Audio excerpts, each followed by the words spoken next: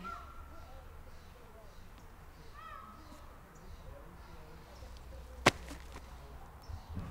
Do you like it? Yeah, it's my third.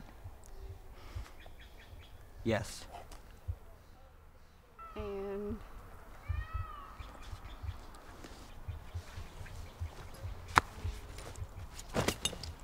what's that?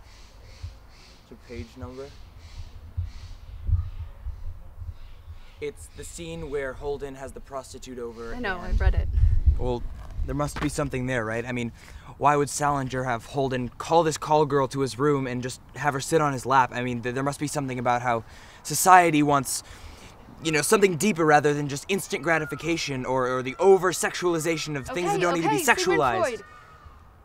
I just thought the whole lap thing was kind of sweet.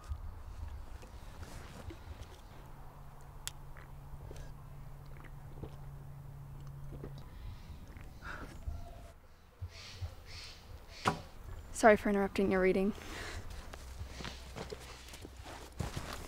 What is that? Look, I don't even know you. You asked about my book, so I'm gonna ask about your ring. What is that?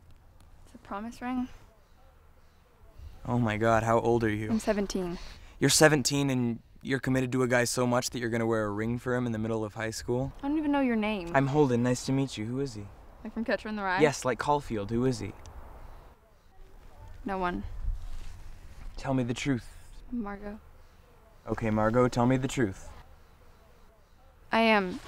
It's no one, okay? I wear it because I know that one day the stars will align and I will meet a boy who I love and I trust and who loves me and cares about how I am and will read books with me and watch rom coms with me and Now go on.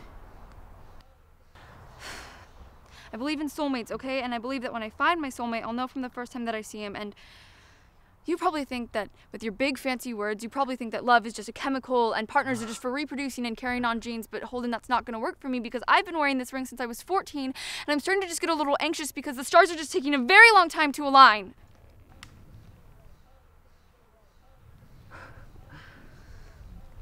Wow, nice to meet you. Shut up, please.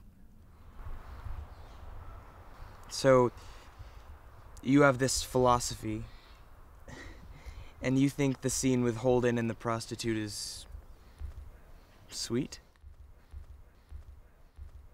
It's 2:15. I need to go. It was really nice to meet you and maybe I'll see you around.